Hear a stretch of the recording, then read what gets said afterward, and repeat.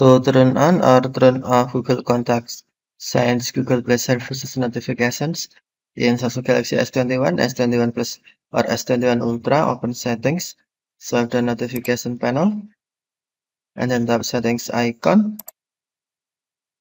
Select Notifications, and then on Recent Deletion, find Google Play Services. If you cannot find, tap More, and then tap most recent drop-down menu. Select all. Scroll down the screen. Find Google Play Services.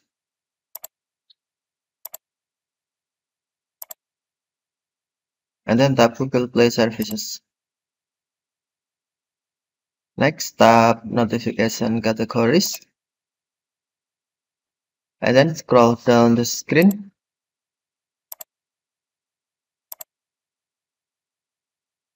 On Google Contacts Sync, tap Switch until blue to turn on Google Contact Sync Google Play Services notifications or tap Switch until gray to turn off. Tap Switch until blue to turn on or tap Switch until gray to turn off Google Contacts Sync Google Play Services notifications. Okay, thank you for watching. Have a nice day.